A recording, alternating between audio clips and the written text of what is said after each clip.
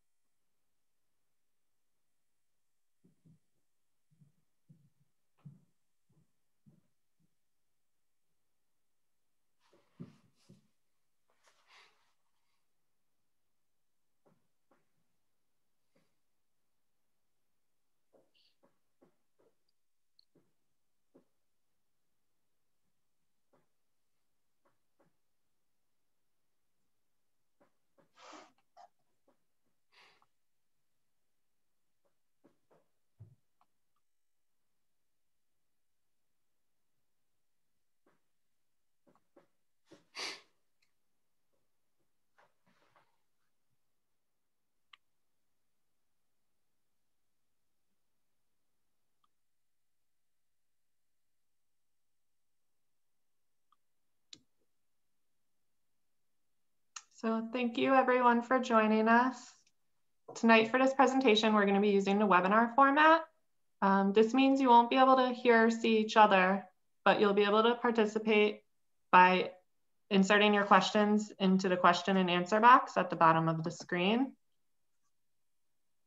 We'll be recording the presentation tonight and we'll be sending a link to all the registrants. Um, so we'll just get started. Actually, we could get started right about now with a introduction from Pat Sesto.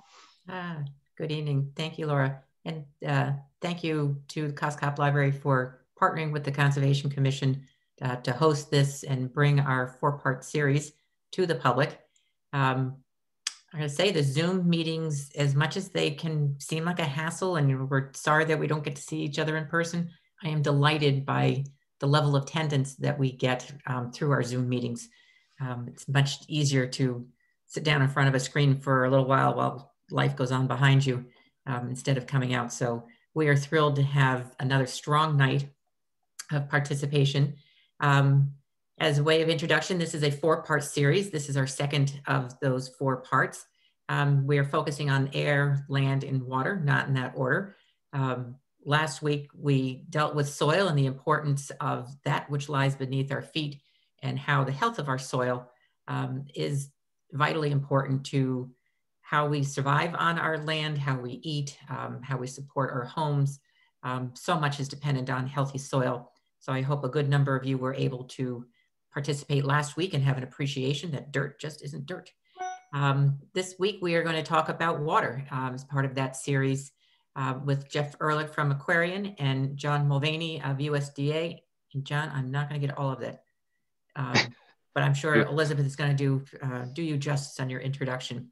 Um, and then I'm going to round out the, the trio. Next week, please come back um, as we talk about transportation and air quality.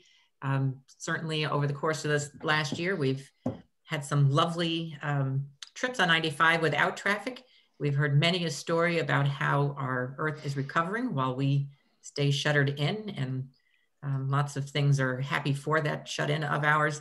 And then the final week, we'll wrap it up with climate change and how these topics all interrelate um, in our changing climate. So um, I hope you all enjoy this evening's presentation and come back for the next two. And with that, I'm going to turn it over to Elizabeth Dempsey, who is going to be our moderator this evening. Great. Hello, everybody, and thank you so much for coming. Um, I'm Elizabeth Dempsey. I'm on the uh, Greenwich um, Sustainability Committee, uh, where I work on advocacy um, as well as land and water um, with some talented women. Um, so I'm really excited to hear about the presentations um, with water being one of the interests I've had recently. Um, so we're going to kick it off with um, John Mullaney. Um, John is a hydrologist in the Connecticut office of the New England Water Science Center, where he is serving as the center's groundwater specialist. He began working at the US Geological Society in 1986, uh, working on both groundwater and water quality studies in Connecticut and in New England. John's current projects include groundwater levels in Cape Cod and other parts of Massachusetts, um, and a topic that is near and dear uh, to all of our hearts here in Greenwich, the study of nitrogen loads um, in Long Island Sound. Um, and he has uh, also served on the Long Island Sound study, which um, is a great interest to me. So we're excited to have you. Welcome, John, um, and we look forward to your presentation.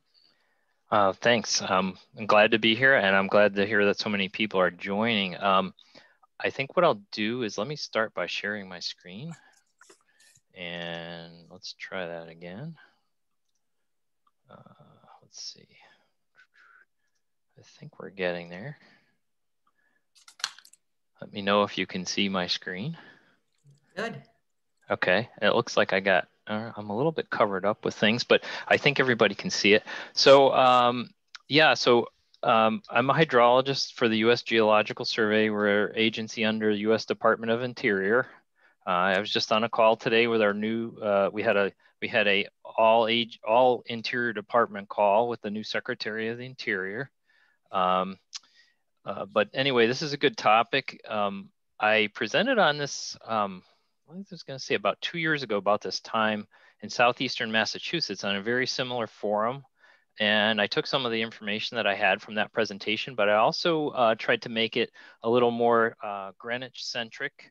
Um, back about 20 years ago, I worked on a study with the town of Greenwich on their groundwater resources. And um, we did we had a report back then that we worked on looking at water use and water availability and groundwater recharge in Greenwich. So I am somewhat familiar with the issues, although I know like the local issues change with time, especially as 20 years go by, a lot of things can change. Anyway, I, I thought I'd start with a picture of the Byram River in Pemberwick here, where we have a, a USGS river gauge right now, where we're measuring the, uh, the flow and monitoring uh, the weather as well down there. And I thought I would start with um, either our take home messages or really what I was calling uh, answers to questions. So, you know, some of our questions we get, and, and this talk is going to be kind of about our water budgets, but, you know, how much water is there? You know, how, how much water is available for use? And I think we often think of our fresh water all ends up in rivers. So I sort of say, what are the sources of water to streams and what pathway does that water follow when it gets there? How, do, how does the system vary and naturally and then of course how do human activities affect this system? And i think at the end i'll touch a little bit also on just some thoughts about to think about how how some of these things might change under climate change too. Um, so when we think about all of our water needs um, we live in a world where there's competing demands for the use of water. We all need water to live um, you know, we have com- competing demands for that water for public and private water supplies uh, to maintain habitats. Um, you know, it's used for irrigation and agriculture and for residential areas. Um, some of our rivers, we, we need a certain amount of water in those rivers to dilute uh, effluent from wastewater um, or have enough water in there so we can take care of fire protection, particularly in rural areas where we might use some, you know, dry hydrants and things like that where they're off of the system. Um, it's also, you know, there's also com competing demands for recreation, uh, our fishermen, uh, kayakers, and, uh, you know, even in Connecticut, we, uh, um, not particularly in Greenwich, but we do have hydroelectric, uh, you know, power generation as well. Um, I just happened to show a river here, picture of one of our uh, sites that we were we were supposed to be monitoring flow this summer. Uh, this is up in Cheshire, Connecticut, but this is the Mill River. Um, which was uh, which actually totally dried up this summer. So this is kind of the extreme event, but um, we've had a couple of we've had a couple of droughts in the last few years. So I'll, I'll touch on that as well. Um, when we as hydrologists think about uh, how much water is available somewhere, we usually one of the things we often start talking about is the um, just had somebody calling my cell phone here. Anyway, one of the things we we talk about is um, the runoff, which is kind of like the you know we think about the. I'm just turning off my cell phone, make sure I don't get any more calls here. Sorry about that. Um, we think about the volume of water that passes a certain point on a river. So if you could collect up all that water over the course of a, of a whole year, and then if you could take that water and spread it over the entire drainage area or the watershed that contributes to that river, how, how deep is that water? Um, you know, how much, and, and, it turns out it's quite a bit in New England. We're in a pretty uh, wet part of the world.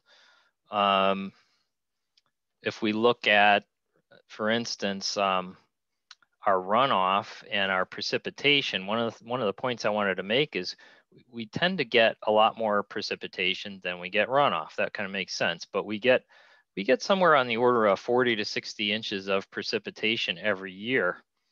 And of that 40 to 60 inches, we probably only have about, you know, 20 to 35 or 40 inches that comes out of our stream. So roughly half of that water kind of just disappears and uh, that's that's the water really it's mostly due to evapotranspiration. So that's that's the water that you know falls on trees is intercepted by the canopy it evaporates. That's the water that's taken up by all of our plants at least in a natural system. So if we use kind of an average value of what comes out of our streams it's the equivalent of about 24 inches. So think of about two feet of water over that whole watershed which is about which comes down to about if you think about it it's a lot of water. It's about 1.1 or 1.2 million gallons per day for every square mile you know so it, there there is a lot of water out there.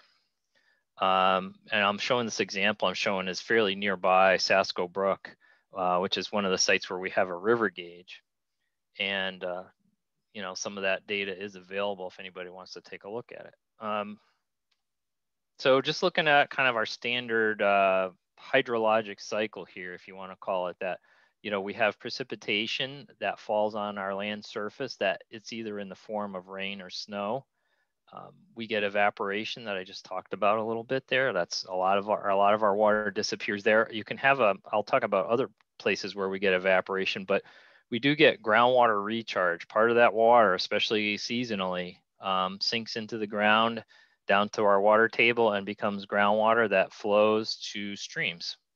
The other big source of water we have, we often call the surface runoff, which is kind of like you think about the water you see, you know, running down your driveway when you're when you get a heavy rain and you see that water just flowing over the ground. Although it's it's probably more than that. A lot of times it's probably flowing through shallow soil layers, but it's finding its way towards the stream.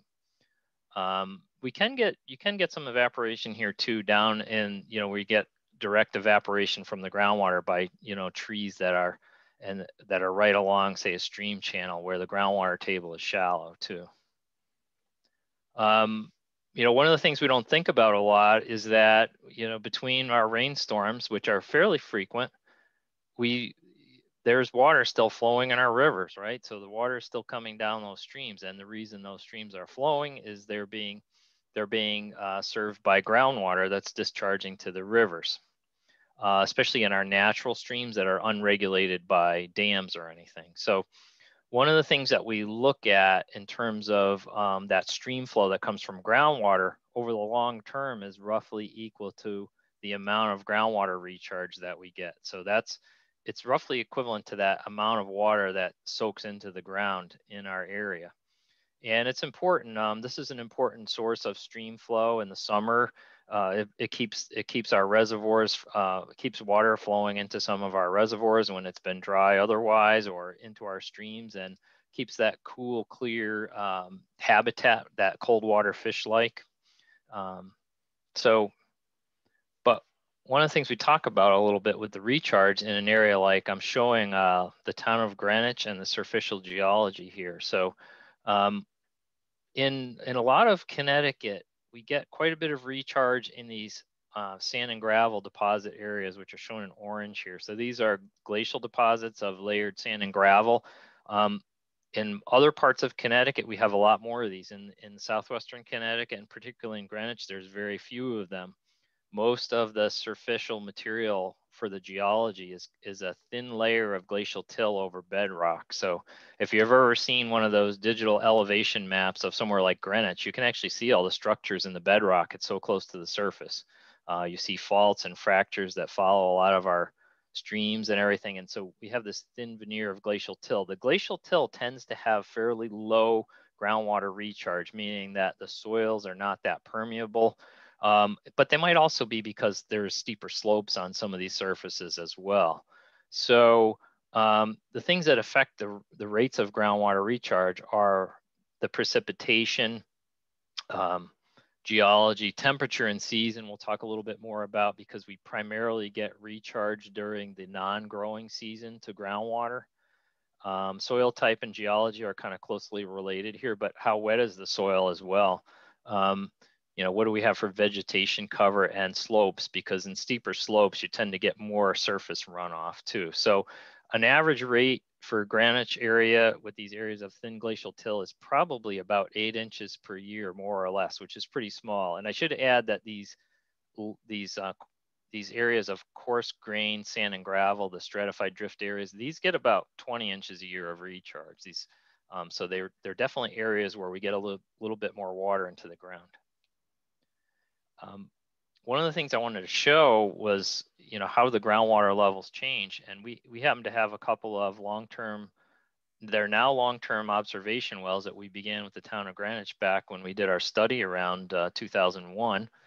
And um, one of the things I wanted to show is the groundwater levels um, tend to rise. This is uh, actually over here. So I have the elevation of groundwater on this side and I'm showing um, precipitation events down here on this axis in inches. So each one of these is a rainfall event.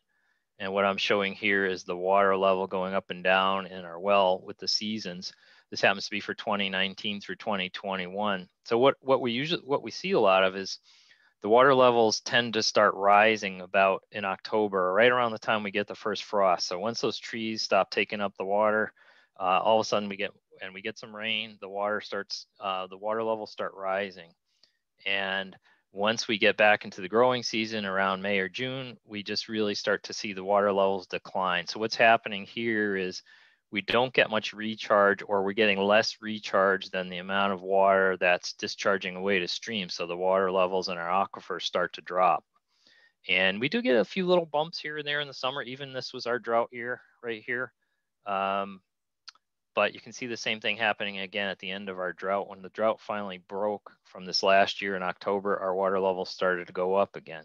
So one of the important points to take home here though is the timing of, you know, one of the things that can lead to drought is losing this time window when we get the groundwater, you know, we get recharged to the groundwater. So this, this sort of non-growing season, let's say October through May, when we get a lot of that water in the ground. And I'll talk a little bit more about these are the same, a couple of the same wells, but I was showing for a longer time period with some statistics. The red lines are the low and the high for any given month.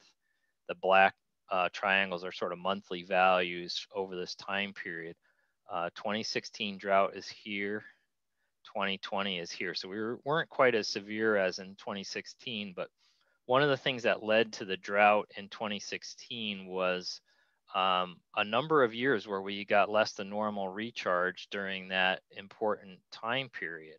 Um, and on this side, I'm showing some differences here where I wanted to show that there's on our hilltops and our valley bottoms, we tend to get a different range of fluctuations. On our hilltops and our hillsides, we can have a big range of water level fluctuation, which is kind of important because I think sometimes it makes the hilltop areas, especially for private wells, maybe more susceptible to having uh, problems.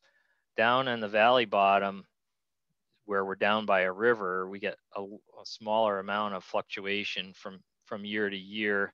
And one of the things you always think about on a, on a valley bottom versus a hilltop, you have a lot of area possibly above you where that groundwater can still be flowing in. Say if you have a well there where your water supply is coming from. Anyway, I'll move along on that um, with the graphs. But, um, you know, getting in towards the end of the presentation here, I just wanted to um, talk a little bit about what are some of the changes to this groundwater and surface water system due to human activities primarily related to urbanization? So you know some of the things that we do that change the balance of these of these things is you know we we withdraw water from reservoirs and we transfer water between different basins and as part of our making our water supplies resilient. Um, we have large groundwater withdrawals in some cases, uh, and also private wells, which maybe are small withdrawals, but maybe we have a lot of them. And some of the things I'll mention a little bit more about is we, we, we tend to pump the water uh, from our private wells and then return it through septic systems. And then we have impervious we have impervious surfaces that make some changes to the water budget too. So we'll talk a little bit more about that. I've got a couple more slides on these issues.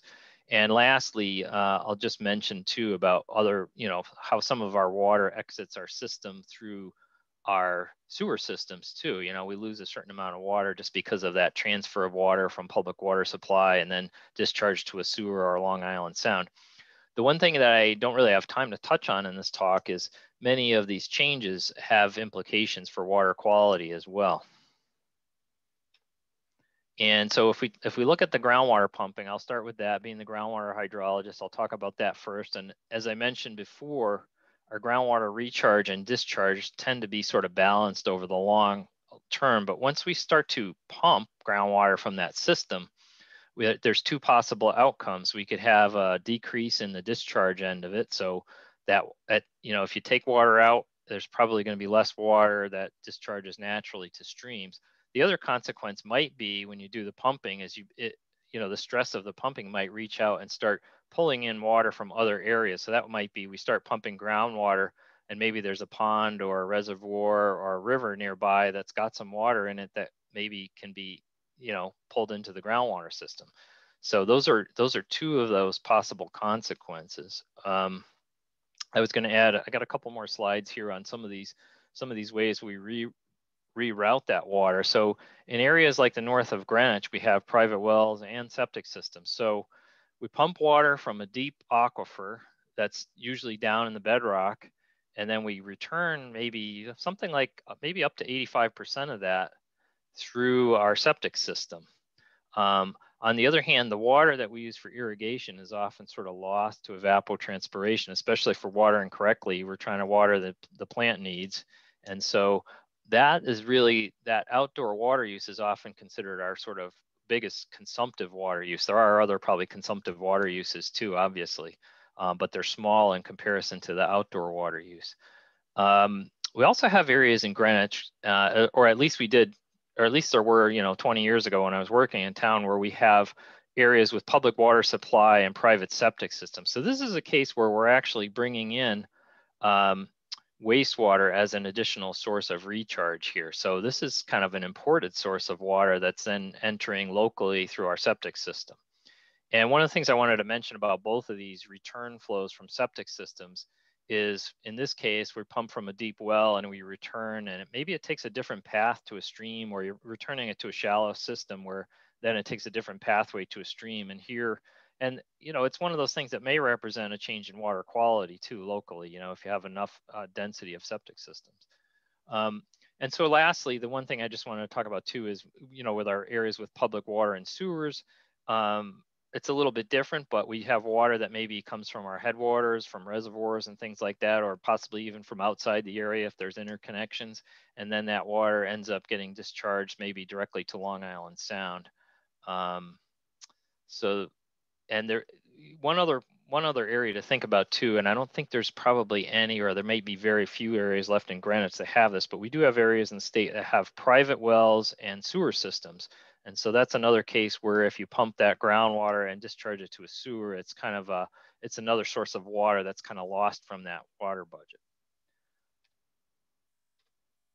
Oh, lastly, I forgot about this one. We were going to talk about impervious cover. This is actually data from my study back around 2000, where we had a couple of river gauges in Greenwich, and we we monitored. Uh, we did a comparison of some storm events. So these are this is the river flow during a couple of storm events, And what it shows is, you know, if you had say 10% impervious cover in a watershed versus 4%, is that you get quite a different response in the stream flow. So you, when you have uh, when you have these big rainfall events, um, the stream with more impervious cover is flashier, and you get this high, fast peak in stream flow.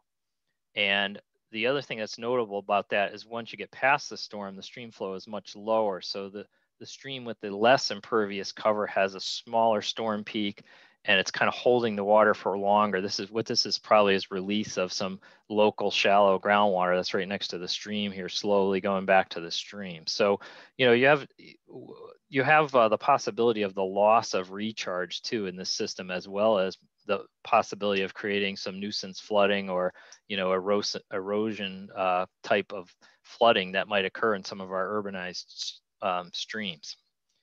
Anyway, lastly, I just thought I would touch on um, to think to everybody to think a little bit about, and I it's good to hear that maybe you'll be talking about climate change in one of the later um, one of the later series of this um, of these events. But um, you know, we think about with a changing climate that we might have greater precipitation in, in this part of the world, but it might be more variable, and we may have more extreme events, more extreme wet or extreme dry or for longer time periods of either.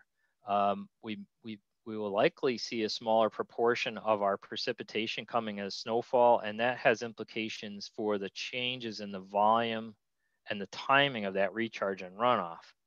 And some of the other things we think about are warmer temperatures and a longer growing season. You know, is there a greater evapotranspiration or, or will we see greater water demand?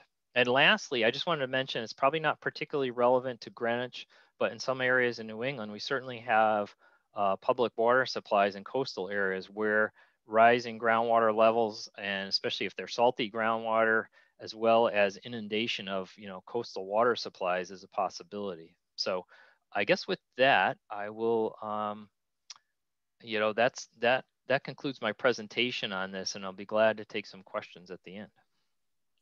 Great.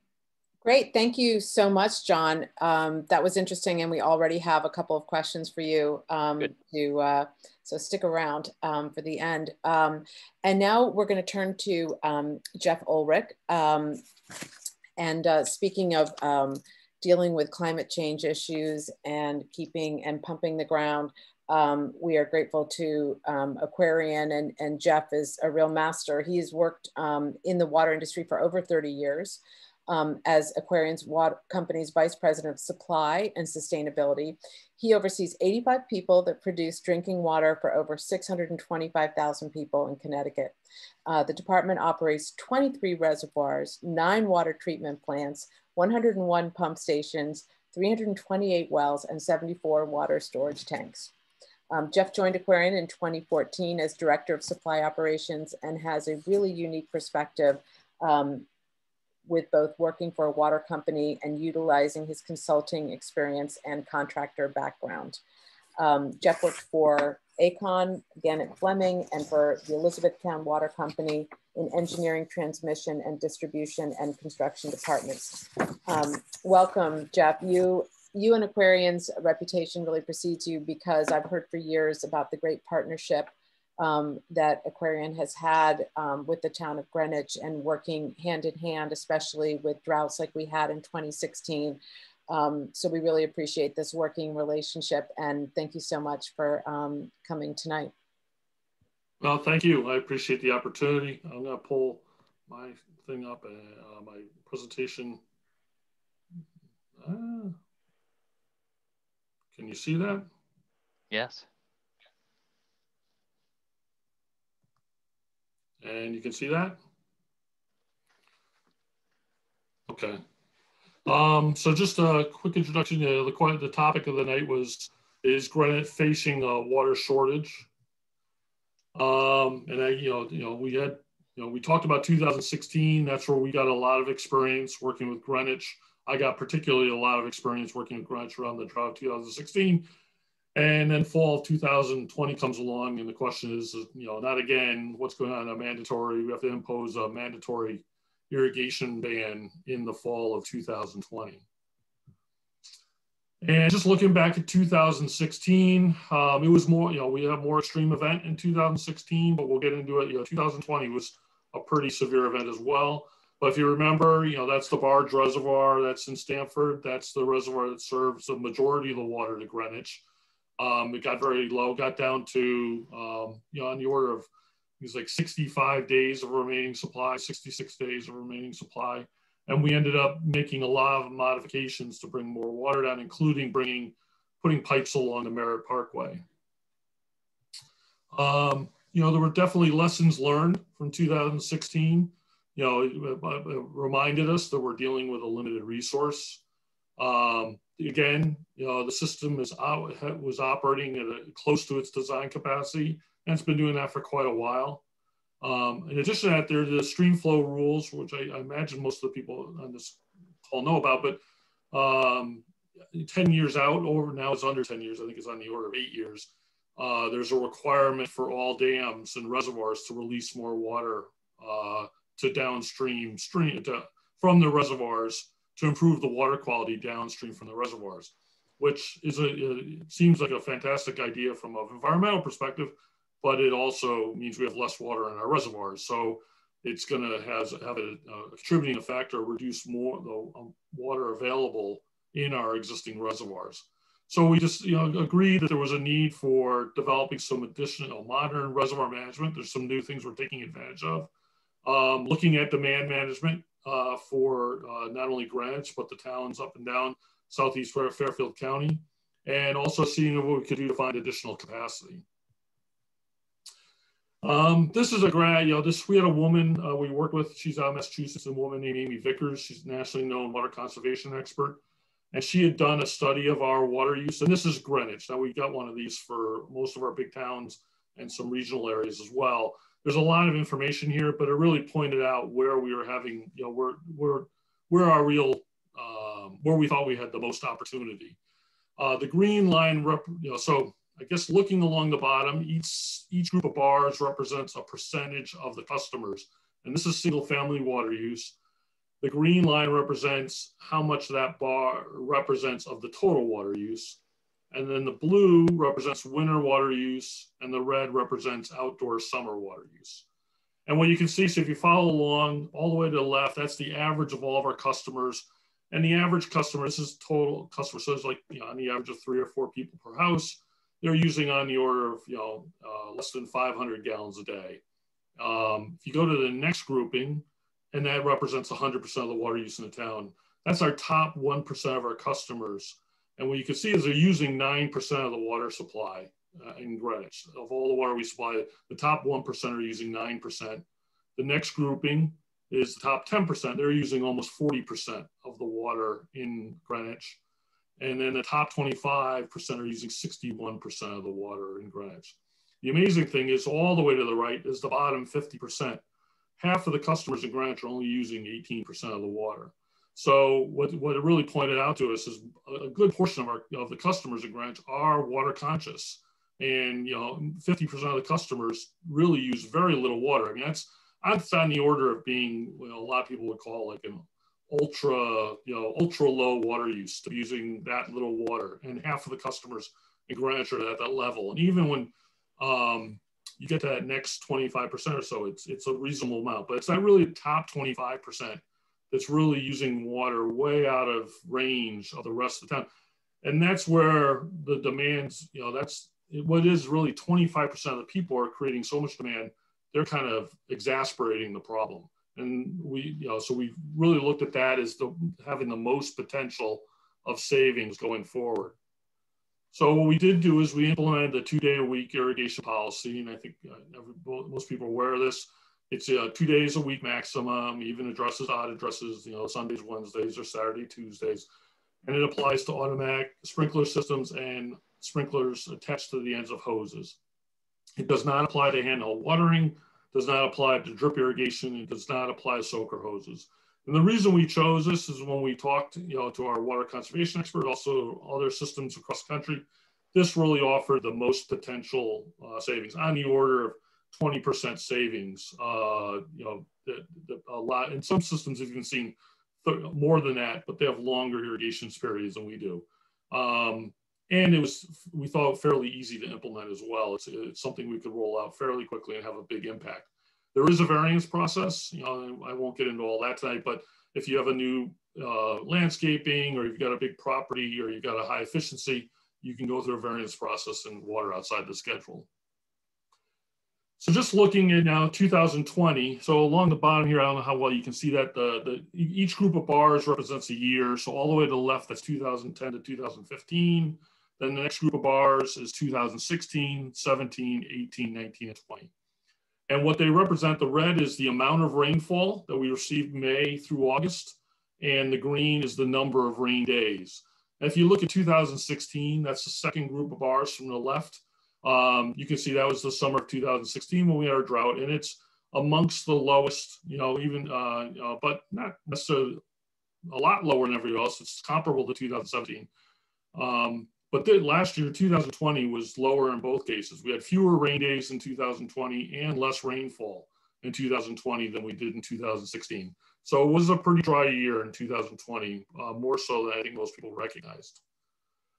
But what we did have is if you look at the demands, so I, you know, looking at the 2016 demands versus the 2020, um, and you can see here the difference uh, in Greenwich, we received about, uh, in the area, about almost two inches less rainfall between May and August.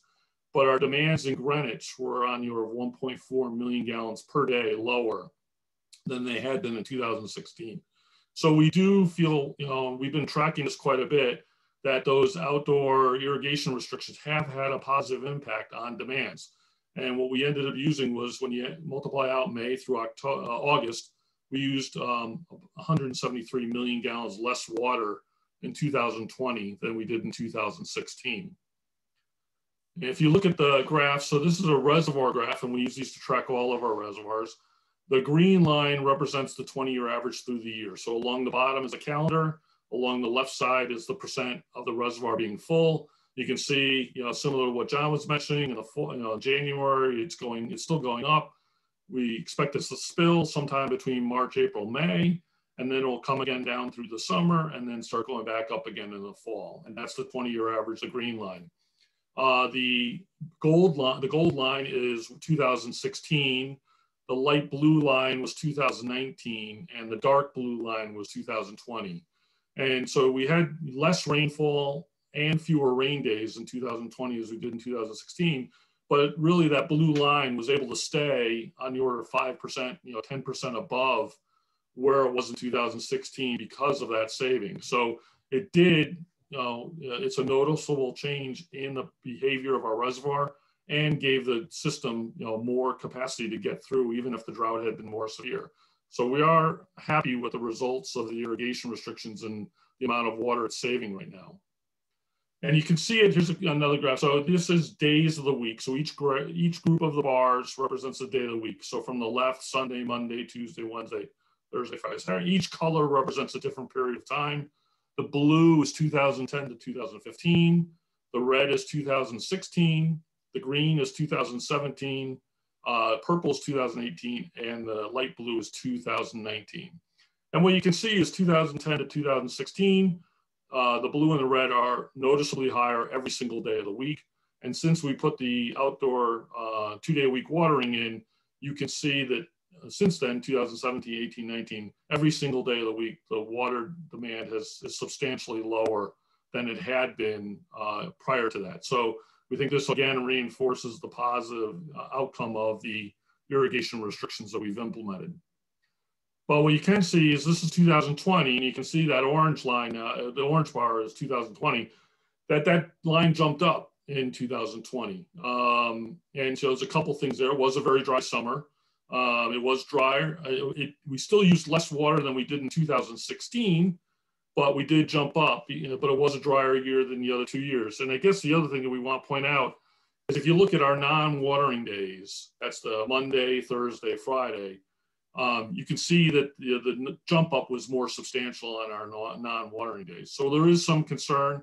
You know, COVID was tough last year. It was a very, very, I don't know if everybody remembers, it was a very dry uh, May and a lot of people were home and I think a lot of people did projects and it was so dry, they started, you know, they wanted to protect their investments, their projects. and you know probably got into some old habits. And so we did see what we think is a little bit of a reversion back to watering, you know, outside of that schedule. So in summary, you know, so what we have done, and I didn't really talk about tonight, we've implemented some uh, additional modern reservoir management. So we're using computer models to project out what our reservoirs look like, the, uh, the uh, forecasting what the likelihood of different levels are over the next nine months to a year. And uh, what we do is it allows us to go into restrictions sooner. I don't know how many everybody remembers, but in 2016, we didn't really put in place restrictions or start talking about restrictions till July and August is the first time we started asking people to make, you know, to, to reduce their water use. And in September, we ended up implementing the water ban. But last year, we started contacting, you know, sending out messaging in May and even in June because we had that advanced knowledge of, okay, the projections are indicating we have a high likelihood of getting into drought curve. So we're using that to try to get the message out sooner and start making those kind of decisions easier. We think demand management has definitely helped. Like we said, we uh, on the order of 200 million gallons of savings, but we are concerned that there might be some return of old habits in 2020 that we need to reinforce. So we are intending to come out with a, a strong communication program this spring to reinforce that the, the, the two day a week program and try to get back to the, the, the better, the better habits we had developed a couple of years ago. Uh, we have put additional capacity in place so that we have large, we have increased our interconnections inside uh, uh, Greenwich itself and you know between Stamford and even from the Bargh Reservoir. We're improving those. Uh, we've already improved, uh, increased those capacities to make more water available. And there is additional projects in place in order to bring some additional capacity down to Greenwich and Stamford as well, just to reinforce the system so that if we did have a problem, we, we wouldn't, uh, we've got more capacity to offset some of those demands. And that's, that's all I, that's all I had for tonight. I hope uh, I give you a quick little summary of the water system and where we are. That's fantastic, Jeff. Thank you so much. Um, so interesting to hear um, about the actual supply. And um, I know I have some questions about um, some of the, the changes that may be coming down the pike. Um, and now we're going to turn to Pat Sesto, whose department really has had a lot, a large part in helping to um, educate our, our residents about the importance of water conservation. And in fact, some of the benefits you can have with uh, to your lawns and gardens by um, reducing irrigation to two times a week. Um, so Pat uh, has been with our Greenwich Wetlands Agency um, as director for the town since 2015 and became the head of our Town of Greenwich Department of Environmental Affairs in 2018. Um, she began her professional career with consulting firms where she worked with engineers, sanitarians, and landscape architects. And before she came to Greenwich, she was a director of environmental affairs for 23 years in Wilton and a past conservation commissioner in her hometown of Ridgefield. Um, additionally, Pat has the distinction of being uh, the gubernatorial appointee to represent Connecticut on the Interstate Environmental Commission. Um, and she's also been the past president of the Nor Norwalk River Valley Trail. Um, so thank you so much, Pat, for all you do for Greenwich and um, looking forward to hearing your presentation tonight. Thank you, Elizabeth. It's my pleasure to be here. Um, so tonight we are going to talk about regulations as they relate to water shortage or um, if they do their job, the lack thereof. Um, so within the town of Greenwich, we've got rules, regulations, and then ultimately it comes back to the individuals with personal responsibility. Jeff and um, John have done a wonderful job in laying out for us our groundwater and our surface water and gave us an, um, an understanding of how those things are important to our very fabric of potable water as well as sustaining the natural resources around us. So generally people are sincere and they understand the value of water, but they don't always individually know how to protect it. Um, so we do have a number of sources in town for regulations to protect our water supply. And I understand tonight's conversation is basically about quantity, um, but I can't help myself. I've got to throw quality in there too. Um, no good having water if it's bad water, as Flint, Michigan. Um, so water quantity, we've got regulations that talk about inland, uh, our inland wetlands and um, water courses regulations. We have a progressive stormwater management manual in the town. We have water use restrictions, um, not only those restrictions that uh, Jeff spoke about, but there's also a local ordinance that deals with private wells. And then the health department has its regulations relating to uh, wells. For water quality, basically the wetland regulations and our storm water management manual mostly deal with um, our quality issues. So why do we protect our wetlands? Um, for years, our country, decades, was raised to consider wetlands as wasteland. We had the Swamp Busters Act. Across the country, you were rewarded for reclaiming wetlands. Um, it's, a funny word to me to use for this. Reclaiming suggests that it was something better before, and now we fixed it by filling it or building on it or draining it and all the other things that we have manipulated our wetlands. We have learned the hard way, for sure, that when we uh, reclaim, bust our swamps, and the other manipulations to our wetlands, we lose valuable uh, natural resource services. Our groundwater is recharged through wetlands. Um, when the groundwater is low, the water that comes into a, a wetland tends to percolate downward and keep our groundwater levels sustained. Um, when those groundwater levels are sustained, that water flows outward and then discharges into our water courses, which provides for base flow of those water courses, um, which keeps them running, A, and then it keeps um, them cool, which is important for uh, healthier um, aquatic organisms to, to live in those areas. Flood control. Wetlands, the, the best wetlands for flood control are the ones that are broad and flat, probably associated with a good sized river or water course. And when the water comes in, it um, resides there for a while, uh, and that helps us in a number of ways. And then they cleanse pollutants. Wetlands are fabulous at this, although um, we can certainly overtax that resource um, as we have any number of times. Regulations as a whole are there to protect you, the individual, from the uninformed decisions um, of others. Water resources are shared resources, and we don't always know what the best decision is.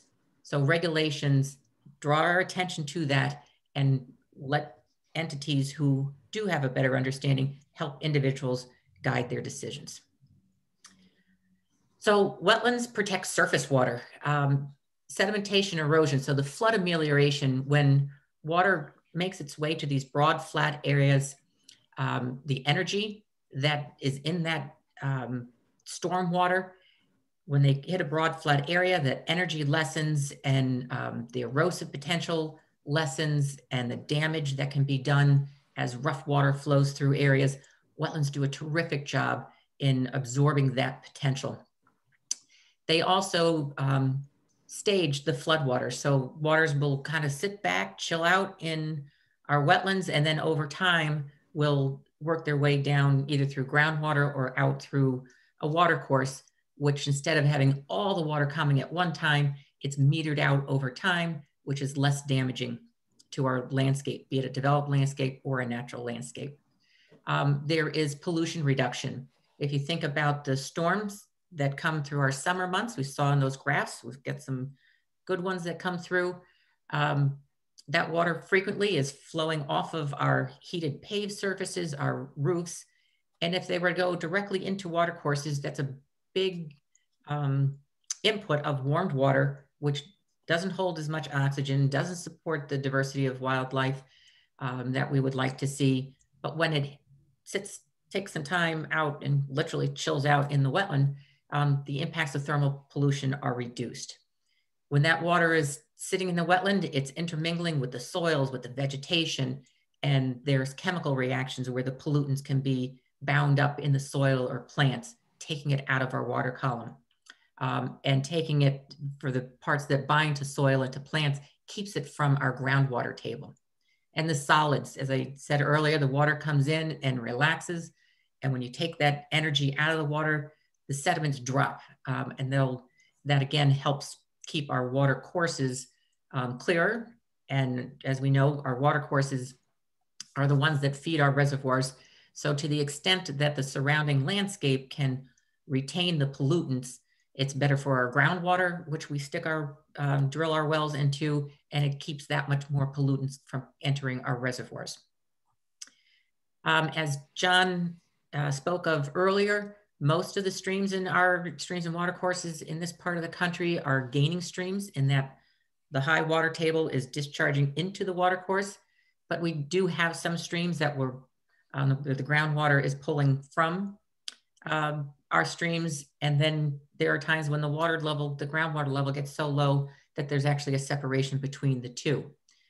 Um, that illustration is helpful when you think about our wells that we are drilling into the surface of our earth. Um, wells will be, our more shallow wells around here are 100 feet or so. And then they go on up to several hundred feet. And if you're in a really tough way, they can, you know, be 800,000 feet deep.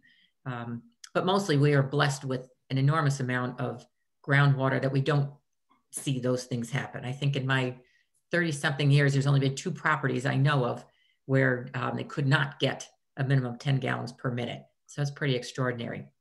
But um, we do draw, our personal wells do draw directly from that groundwater. So ensuring the quality of water that percolates through our ground and, and consists of our groundwater that we then pull out and utilize, ensuring that that is clean is vitally important.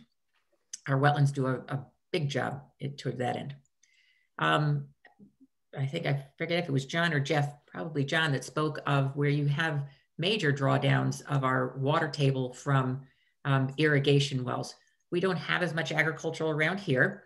Um, so that's not one of our major drawdowns. Um, we actually heard from Jeff before we went on that our golf courses don't draw down quite as much as we all think they do. They're quite judicious in the amount of water they pull um, but I have seen applications that come through where um, somebody, I think this would probably be one of the top one percenters that Jeff spoke of, where there was a six acre property who was looking to drill wells to fully irrigate that six acres. So there is a, a point in which the individual decisions on a property affect the water table and people beyond uh, their own property boundaries. So that's why the regulations exist to ensure that the personal decisions aren't negatively impacting those beyond. Um, I'll say for me, my personal experience back in 2016, I would have what I would consider a shallow well that it's just over 100 feet. Um, it went dry five times during the fall of 2016. Um, so we have to be careful. These uh, threats are real. We also spoke a bit about um, watershed. So we get why we regulate wetlands in the context of preserving our groundwater and having our surface water uh, renovated and um, our groundwater recharged by protecting those wetlands.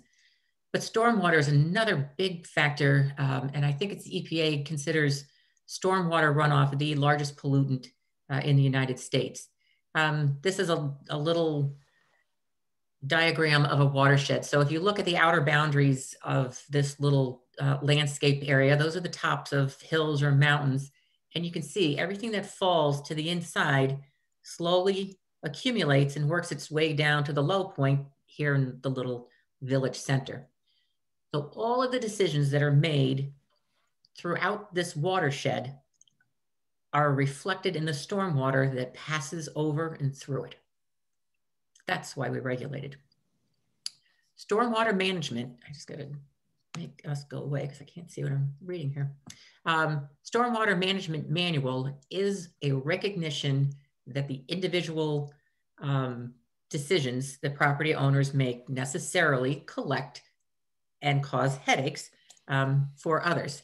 Now, this is actually a, um, this is from Hurricane Irene in Old Greenwich um, which I'm sure a number of people who are viewing this tonight have um, distinct memories of. So the goal of the Stormwater Management Manual is to have each expansion of impervious coverage on each property be responsible for its own runoff. When we fail to mimic the water cycle, which is precipitation down, contributes to groundwater, some runoff, some evapotranspiration, um, that collectively, failing to mimic that, collectively causes problems to others. So our individual decisions, again, collectively impacting somebody else. That's why we regulate. Infiltration is um, a key point in what our manual demands. And it demands this for several reasons. Um, not only um, water quantity, but water quality. Infiltration um, reduces our pollutants associated with our runoff. Um, the slide to the left, this is one of the always a favorite when you're watering your driveway, it's not gonna grow.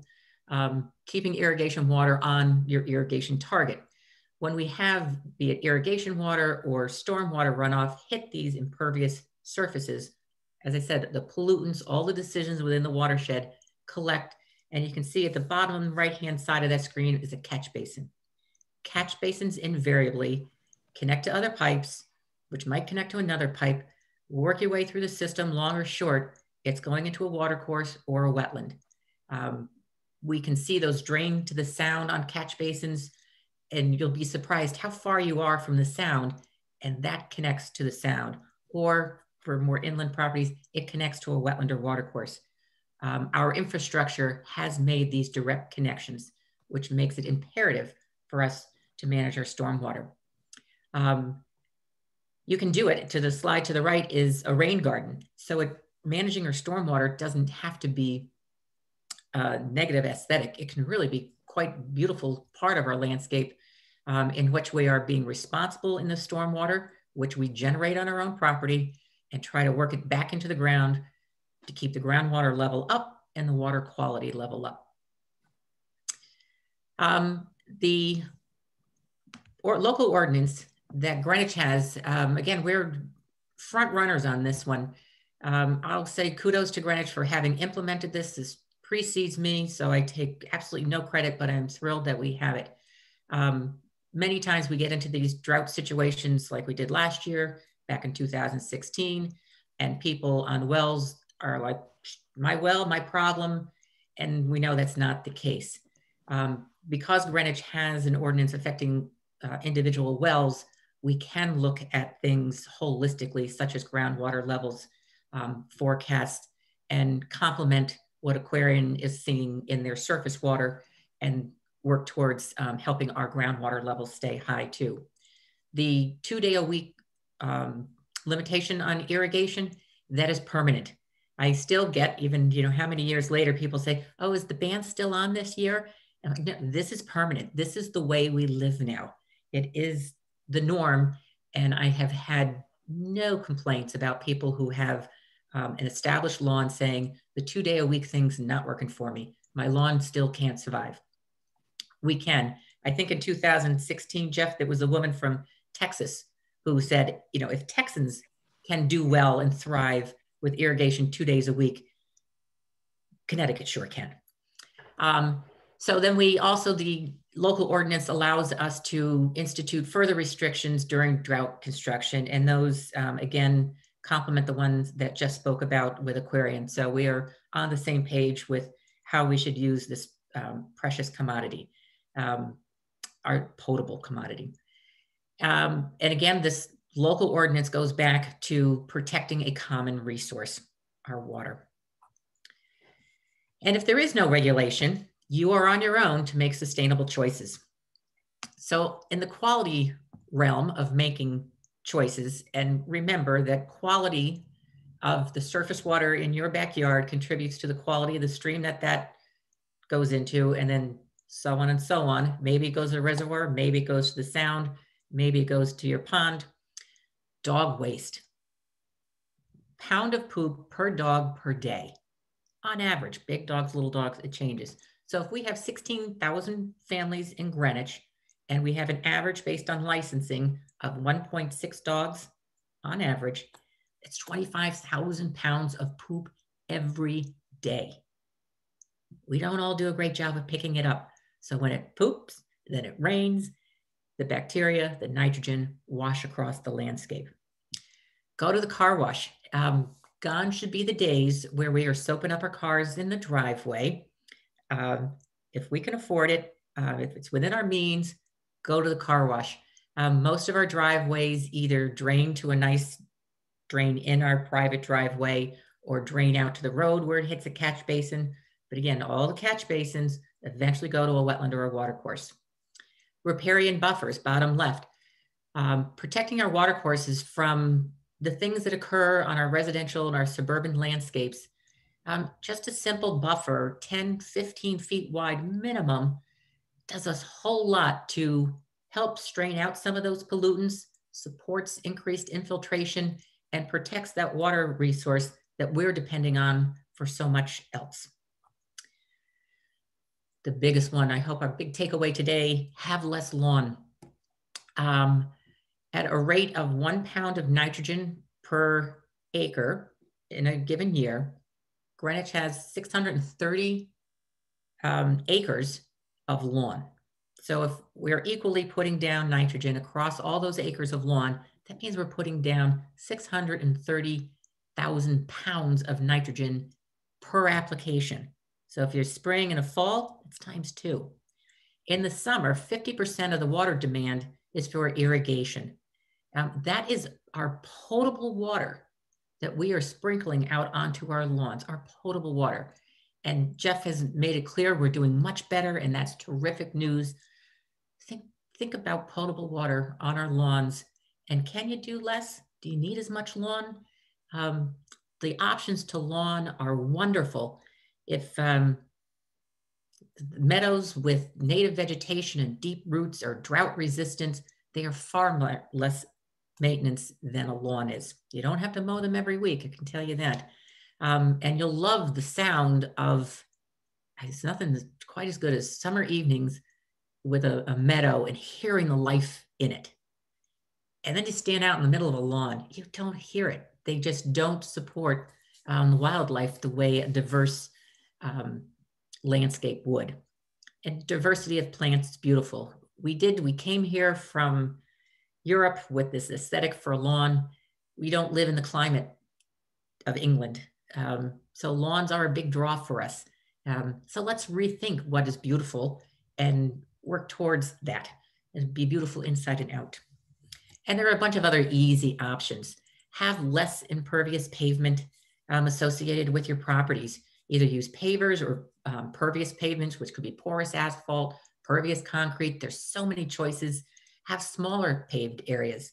Um, I appreciate people who entertain and like to have um, their guests be able to park easily. Um, you can have areas that are lawned, but um, have a grid underneath them so that on any given day when you're not entertaining, you don't need that many cars. You don't have to have pavement um, just out there. You can have lawn with a grid underneath it that would support the cars on the day you do have it disconnect your downspouts. Um, this one, the third one uh, from the left, that's a downspout going into an elevated garden area. There's so many options where your downspout can go to a garden instead of into that um, PVC pipe that works its way out to some point in your yard or to a wetland in a stream. It's not healthy. There's a lot of pollutants that come off of our roofs and it's really important to take that roof runoff and get it back into the ground.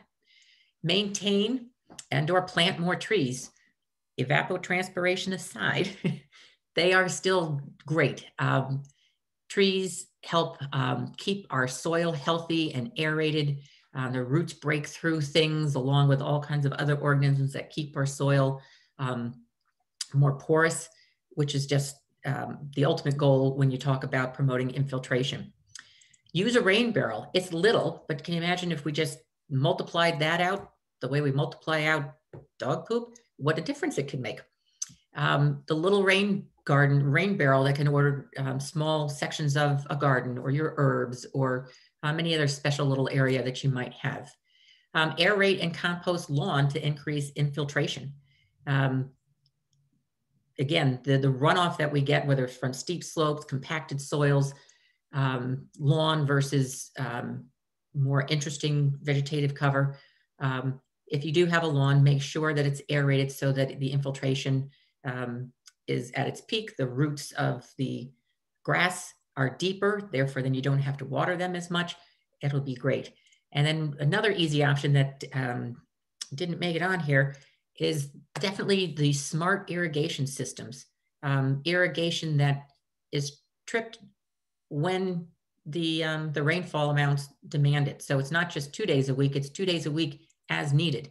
Um, the smart systems, I think, are pretty prevalent nowadays, um, and it seems like just an obvious thing to do. Um, so I would think that that's another easy option for people when they're replacing or installing a system. So thank you. Um, I hope everybody has a better feeling for groundwater and our surface water and our, the potability of both of those things. And it's a shared resource. And, and I hope there's a greater appreciation that regulations aren't just there to, to torture, but they're actually meant to preserve the things that are important to us. Thank you. Pat, that was terrific and really highlighted the connections of, of having kind of one shared system with water and, um, and also its whole impact on the cycle, how our soil impacts our water, the, the runoff and infiltration. Um, so, I, and I love the practical tips uh, for improving our, um, what's easy steps we can all take to make a real difference. So thank you for that. Um, so we have a, a good little chunk of questions and would welcome um, that others add more as well um, by putting them in the Q&A, not the chat. Um, but um, I'll start off with our first question uh, to the panel. Uh, approximately what percentage of pre precipitation um, is lost to runoff in Greenwich? You want me to address that one? I, I could probably, I mean, if you look back on my presentation, so um, I guess it depends on which way you look at it, but it's a roughly the number is roughly 50%. So about 50% of our rainfall is evapotranspiration, about 50% is it ends up in the uh, ends up in a river. Okay, terrific. Um, our next question is, uh, how does the water supply in Connecticut compare to that um, of other states? And is our environmental approach different? So um, I'll I'll try to answer from the water scale. Um, John, if you have anything you want to chime in, you know, after I finish, feel free. Um, it's kind, you know, I think you know it's a northeast water system. You know, it was designed, you know, around, you know, primarily in New York City, Northern New Jersey, uh, the New York area are designed around reservoir systems, the surface water systems. Um, you know, and they were really designed around the industrial, you know, to serve the industrial needs uh, from earlier in the century, and that's what's still in place. In some cases, uh, the you know like in the Bridgeport area, there's a lot of excess capacity because a lot of the industrial needs have gone away.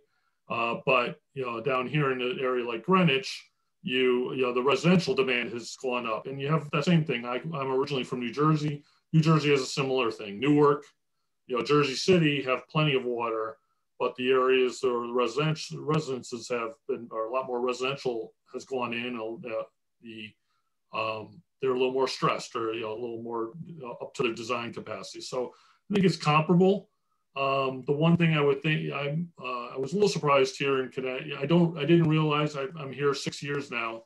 Connecticut's a little more spread out than I expected. You know, in New Jersey, there's what we more interconnections. Like there's more of an ability if one water system has trouble to move water from another water system. So like a, an MDC that has lots of water up in Hartford, uh, in New Jersey, there's there's a little more of an ability to move water from northern part of the state to the central part of the state, or even down along uh, to give them offset to the coast. So I think that's probably, and I think it's just a distance. There's just bigger gaps between the the city centers here than there are in New Jersey. Interesting. And um, while you're uh, speaking, Jeff, another question. Um, you were talking about the impact of um, the industrialized area previously and how the system had been set up for that. Um, in Greenwich, is uh, you know, we really do talk about how residences use it and that seasonal irrigation use that skyrockets. But could you also comment, because um, there, there's not a lot of information on commercial or um, what I know we don't have a lot of industry in Greenwich, but um, what about the commercial users um, and are they heavy in Greenwich? And does that mm-hmm. also add to the demand? For example, we have a hospital, and so obviously they need a lot of water. Um, and uh, does that, you know, we have a reputation of being water hogs in Greenwich, and and uh, you know, I'm looking for other reasons why we might we might be such big water um, consumptions other than our our our penchant for emerald lawns. So. Um, So um, in Greenwich, uh, two thirds of all the water use in Greenwich is residential. Okay. Um, you know, uh, uh, in what we call industrial, uh, commercial industrial only makes up 18% of the water use okay. in Greenwich, and multifamily makes up about 10%. So the, by far the largest portion of the water use in Greenwich, and what really and what Pat mentioned before, it's the summer demands. The summer demands that the commercial, like the hospital, may have high demands, but they don't go up as much in the summertime. You know, they don't you don't you don't get a kick up. It's kind of a flat, a more consistent. Even the office buildings, their demands may go up some in the summertime, but they don't go up nearly as dramatically. You know, so they're like in the case of the residential in Greenwich, it's more than double the water use. The winter, you know, and you look at the summer demand, it's more than double the water use of the winter demand. In the industrial, it's only about 26, 30% more. So it's, it, it upticks in the summertime because of those outside uses, but it doesn't increase nearly to the level that the residential does. Great answer. Um, and Jeff, one one last one I'll, I'll pull from our list here of questions uh, while we have you. Um, and what percentage of uh, what percentage of Greenwich is served by Aquarion? I know obviously we've got a lot of um, backcountry wells, um, but is there a number that yeah. you have for us on what percentage generally of households? I may know it better. I don't know. We serve all the way up to the Merritt. So uh, basically across the Merritt is we, we don't serve across the Merritt. Um, so I would guess that's probably under what, that's probably what, 85, 90% of the residents I would think we it serve. Be, Pat, would you agree? I'd, I'd seen a presentation before, maybe from uh, right before uh, Pat uh, headed the, our department and it was like 80, 88%, something like that. And I was curious if that was still a, a, a relevant number. I think that's, I think that's still a relevant number. Yep. Okay. Yeah, there's not been expansion um, of the public water service in a, a measurable way against the, the, amount of development we already have that's served by public water. So that number probably won't change in, in a big way. Terrific. Um, and we had a question regarding the demand commuter, computer models um, and whether they take into account new construction, in fact. Yeah, so we we're required to do uh, master plans uh, as part of our permitting with the state, and they they lay out like a, a 20 year time frame. So we take into account population increases. We look at zoning. We talk to each town, the planning departments in each town, and get an estimate of what they anticipate development wise going forward, and we apply those. And then our plans include meeting those demands in the future but nationally and even locally, our de- the demands demands nationally are going down uh, because of all the um, the improved um, well by per, per person demands are going down and the Connecticut population is not going up dramatically. So really our demands should be dropping because improved plumbing fixtures, reduced water use in showers and toilets and all that type of stuff. Everything's getting more efficient. So, but really our demands are about flat because what's happening is more and more irrigation is going in and it's offsetting some of that benefit we're getting from the, the plumbing improvements. Oh, interesting. Um, and speaking of which, uh, question from um, for Ms. Sesto, are there plans to require new construction, especially multi-dwelling units, to include brown water systems to reduce the use of potable water to flush toilets and do laundry and such? So those regulations actually come from the state health department. So it's um, not a decision that we are able to make locally. Ah, okay, good to know.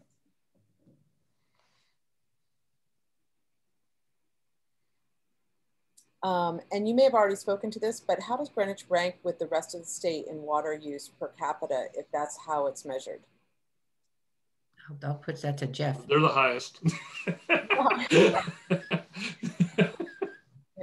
uh, yeah, yeah, Southwest Fairfield. Yeah, so uh, Greenwich is of the towns we serve 70, I think 71 towns, 74 towns in the state of Connecticut. And um, the Connecticut, Southwest Fairfield County, I mean, Connecticut is the highest, but you know, New Darien is high, New Canaan is high, Westport's high. Um, you know, it, it's where, you know, uh, it, you know, that end, that end of the state is our highest users and Greenwich is our highest users. Right, a, a frame of reference on that. Um, in the summer months, so Greenwich is um, half the population of Stamford, but uses twice the water of Stamford. Amazing. Yeah, I Uh, was gonna I was gonna add I I remember uh, analyzing those water use data from back around 2000, and things may have changed a lot. But what was kind of shocking to me was as lot size went up, the the water use went up dramatically with that. Whereas you know you had the small lot size, you had kind of sort of more typical kind of state of Connecticut water use. But as you go up in in lot size, there definitely was uh, you know some big increases um, in the in the water used. And I I also saw what what Jeff was talking about that increase in the summer demand and looking at at their I guess the, the data I had came from you back in back in that time period. So Mhm. Yeah, So, so and even one with- third of Greenwich is the land cover type is lawn. One third. And one third is developed, and then the, the rest is everything else. It's a lot. So um, I have someone else put in um, a question about why is the North Street Reservoir empty? And I thought, um, Jeff, Oh, and I warned you about this, that actually I think it would be really helpful to hear about um, the South, the South, Southwest Regional Pipeline. Um, Okay. I, I don't know, in summary, I would say that, you know, that maybe people don't realize that uh, with climate change that we're looking to, correct me if I'm wrong, but to divert water through a permit that is current, that Aquarion currently is doing, um, to divert water from, as you said, the Bridgeport system has um, excess water. And maybe you could explain a little bit about um, the, what people view as reservoirs here in Greenwich and if that's really a holding capacity Okay. and all that. Yeah. So um, I'll, I'll, I I see a couple questions on here about you know what the reservoir stats. So I'll hit those, and I'll get to the, the Southeast Regional Pipeline. Um, so the Greenwich system, the way the Greenwich system works is um, the Bargh reservoir is in Stamford, um, and it, it collects water there, and then we pump from that reservoir to what we call the Rockwood Reservoir, which is the reservoir that's along North Avenue there. The reason it's empty right now is there was a, um, a causeway, the roadway that crosses in the middle of the reservoir.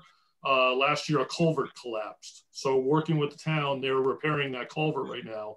So, they asked us, we had drained it, it had gotten down in the fall anyway, but then they asked us to keep it dry so they could do that repair.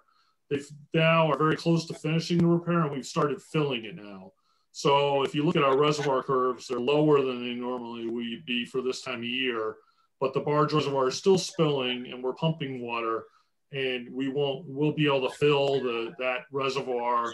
We expect it to be full by you know definitely by the end of april. And then we top off and then our reservoirs should be spilling in greenwich. Uh, we don't expect any reason why they won't spill before uh, you know you know by may 1st or you know uh, in greenwich. And we're using reservoir models for that and it's giving uh, it's a very high it's like over 95% likelihood that they're gonna they're gonna spill this year. And the reason is is uh, the, the the reservoirs in um, uh, Greenwich have very large, fairly large watersheds for the amount of water they store. So generally, there's a lot of spillage. So um, so even though we're a little late filling Rockwood, there should be plenty of water to continue filling Rockwood. Um, and then talking about the Southwest Fairfield, uh, the, the Southwest Regional Pipeline. So what we do bring, we've been bringing water down a regional pipeline for decades. Uh, there's been when it was the Greenwich Water Company and the Stamford Water Company in New Canaan, uh, there was a need and there was a pipeline that was built even at that time to help those water systems by bringing water down. But it was really designed for the, capa- the needs at that time and it hasn't been increased. Uh, so, you know, the demands have gone up in those towns over the last 20 years. So we are in, looking, you know, for an increase uh, to increase that. And just that we have the stream flow requirements that are coming they're going to require us to release more water from our reservoirs. So we'll also have less water in our reservoirs in addition to the additional demands. So we are pursuing a permit right now to, uh, you know, to increase the uh, the permit of how much water we can bring down from the Bridgeport system. And looking at the Bridgeport system has a lot of excess capacity. The Bridgeport system was really built to serve all that industry that was in Bridgeport for all those years and there's a you know a, a, lot of excess capacity there. So we're trying to take advantage of it to serve, you know, the, uh, the state as best we can.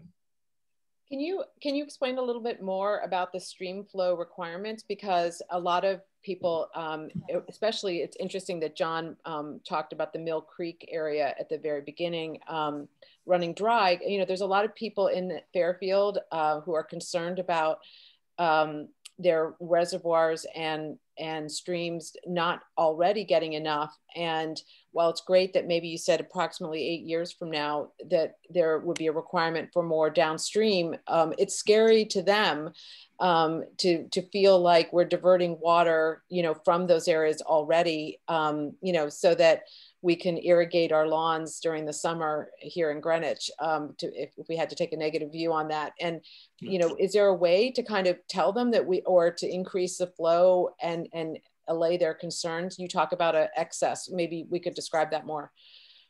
Yeah. So, um, so what there is, is um, there's a, there's a set of rules called the stream flow regulations and it requires everybody who has a, a reservoir and a dam uh, to release more water in the future. And it's, it's, the timing is based on when some studies were completed.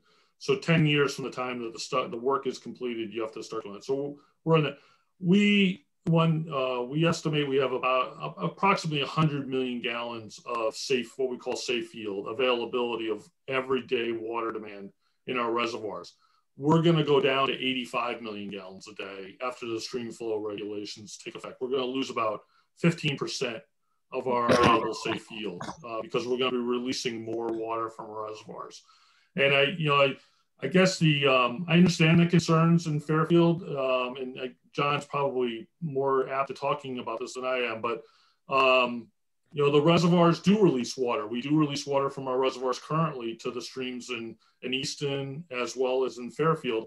And I think if you look historically, if the reservoirs weren't there, the stream flows would actually be lower in the summer than they are with our releases because we do maintain a minimum release. And if the reservoirs weren't there and you had very dry summers, there would be even less water. So we maintain a level of release in the streams that that wouldn't be there naturally. And that's in our calculations in our management of of the reservoir system. And so as part of the, you know, that that's also taken into account in these calculations and developing these long-term plans. So we have this release requirement and also meeting the demand, the customer demands as well. well uh, Todd, do you have anything you want to add to that? You probably you may have a little. Oh. Yeah, well, I was just gonna I was just gonna add the the Mill River I was showing is actually in the New Haven area. So, but it is in the it is a stream that's in the Regional Water Authority system. So it's it's uh but it's a little bit different system without much reservoir and there's groundwater and then the you know sort of the end of the line right right before uh, you get to uh, New Haven there's like Lake Whitney and that flows into Lake Whitney. So um, you know, so it's it and there really isn't much uh, ability to control the water that's coming down that particular stream just because there's not a lot of storage there. Well, the other question I had was um, if, okay. if, there's, so we have a good flow coming down from the bar, Bargh reservoir um, to Greenwich, yep. but also don't you have to maintain a certain amount of water for the reservoir and the water treatment plant plant in Greenwich and to maintain kind of a healthy um, aquatic system um, for water for water quality. And is that something and i don't think people realize like these, these are small what is actually in greenwich is not they're not that large right? Um, they can't be I mean, we're holding from a holding perspective. Yeah the yeah they're they're they're, uh, they're on the on the size of reservoir you know reservoirs are on the small side of reservoirs in in the water industry um, you know the our Saugatuck Reservoir is you know, multiple times larger than the Greenwich reservoirs. And if you go out west, you know the the ones out west, they you know they they hold you know years of water. You know they they, they can even MDC. I think they say they can hold up to four years of their demands in their reservoirs. So uh, the Greenwich Stamford reservoirs are they were built at the time they were built uh, with the limitations of the of the valleys and the land around them at the time, but they're they're small in comparison to most reservoirs in the industry. And so we do manage them. I mean, so we have to. So there's that combination, like you're talking about. We know we have a release requirement. We know we we know what the demands are going to be, and we have to maintain water in the reservoir, uh, to, in the reservoir to go through our plants to produce to meet the demands And then there is uh, there is an aquatic aspect of the reservoirs as well. So there's always some level of water we want to maintain in the reservoirs as well. Uh, the other question we had was um, Greenwich in, in, your, in some of the Aquarion notes that we've seen over time, we've talked about um, the transfer of water from um, the Greenwich treatment plant as part of the kind of regional pipeline um, to the Suez company that supplies Port Chester and um, uh, Rye mm-hmm. Brook and Rye through longstanding agreements. Uh, and did you want to touch on that? Because what, what, what one of my questions was, eh, they don't seem to be conserving, having the same type of conservation message. we kind of checked on some of the towns in in uh, next door, and they were like, um, you know, they they weren't concerned about irrigation. I don't. They have a two. I don't know that they have a two day ban, and was just curious no, about that because we have made a real impact here in Greenwich, and I know that yeah. it's it's not our water. Um, in that it's shared between New York State and um, Connecticut, but it is kind of it does kind of make us wonder a little bit about it. Um, yep. Yeah. So the um, uh, in 2016, we we ran into this quite a bit. You know, we you know.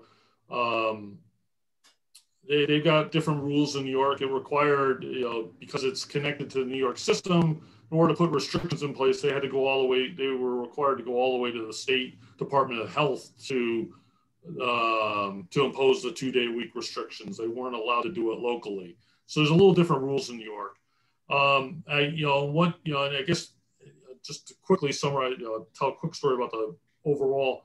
So the reservoir was built when there was Port Chester Water Company and Greenwich Water Company. There were two water companies, and they went, they got together to build the Bargh Reservoir, which is in Stamford. Um, it extends into New York. About about half of the water body is in New York State. If you go up, it extends past the state border and most of the watershed is actually in New York. Most of the water that gets into the Bargh reservoir is actually uh, runoff from the state of New York. Um, in addition to that, uh, so we own the land that's in Stamford, but the Port Chester Water Company, or now Suez, owns the land that's in the in, in New York. So it's a joint arrangement, a joint a joint operation, joint ownership. So as part of that agreement, when it was built, they were entitled to 5 million gallons a day of water. So that's their contractual right to have access to that water. So that's what we, we provide them on an average, average day basis is 5 million gallons a day. We have had conversations with them and let them know what we're doing in Greenwich. But as long as they don't exceed that 5 million gallons a day, we don't really have a contractual capability to tell them they can't what they can do with that 5 million gallons a day. Right. And John, would you say that uh, looking at your forecasting that uh, there won't be any interstate wars the way there is out west with um, the demand for water between states and starting to be proprietary about your watersheds? Um, I, I, mean, it does seem to, I, we have heard that climate change means that we are going to get a, you know, we are net positive on the water side, but can we depend upon that? That's a good question. I think I think we can depend upon our ample water, but we may need to figure out better ways of kind of holding on to it when we get it. And you know, a lot of what Jeff is talking about is you know having those systems that capture the water when it's available and being able to store it. Um, you know, some of the things we I mentioned about just more variability is something that seems to be coming. Um, you know, whether we get extreme rainfalls on one end or whether we just get you know, we've had a few of these droughts and go back and look. I can think of, you know, 1995, 2002.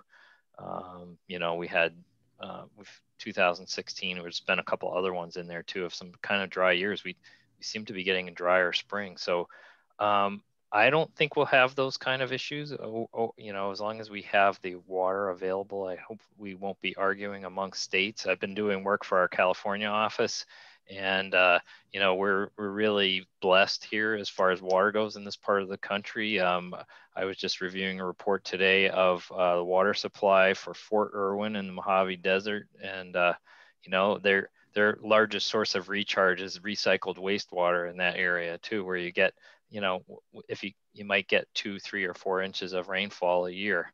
and they're trying to basically mining old water in these desert basins. So, um, you know, in a way, we've, we've we're doing pretty well in this part of the country, and I often wonder um, when I, I, sit on the interagency drought work group uh, here in Connecticut, and you know, I've brought up the issue. Um, you know, we have development patterns over time, but maybe it will be our water that will turn the country more in this direction again at some point with our development or looking for our um, our ample water as being something that's pretty important. Right, right, excellent. Um, I have a rather complicated question. I don't even know if I can read all of it, but um, it was uh, directed toward Mr. Um, Mr. Ulrich and whether uh, the implementation of peak Aquarion peak water surcharges uh, might come into effect. It says the official Aquarion 2021 Greenwich Re system reservoir status shows 84.7% capacity as of March 9th, 2021. This is lower than the 20 year average, lower than 2016 drought year and the past 2020 season, i.e. your slide number nine. So if the current rather dry weather continues through April, mid-May, we may have a new low record. Is Aquarion thinking of adding some sort of drought special surcharge for this peak usage period from July to September? Um, however, limited to only those who actually use water in excessive ways or over normal average residential uses. Um, well, I'll, yeah. I'll do my best. It goes on. It goes on, but uh, on. It goes on, but. Um, so, yeah, from a reservoir perspective, like I said, we are lower than normal, but a lot, some of that is related to the Rockwood Reservoir being empty right now. Uh, and we expect that we will be able to, you know, spill, the reservoirs will be spilling by May 1st. That's our expectation based on our reservoir models uh, that, that, we, that we use. Um, about uh, increasing the rates or having a higher rate. So we have a tariff. Um, so we have to, we have, what we do is rate cases. We have to go into PURA, the Public Utility Regulatory Authority, and you have to go in and get your rates approved. We haven't been in to get our rates approved for a while. And right now, our rates are a flat rate. Everybody pretty much pays the same cost for every gallon of water. Our intent is when we go in for the next rate case, is that we will be putting in some kind of um, in, what they call an increasing block rate. As you use more water, you'll pay more for it.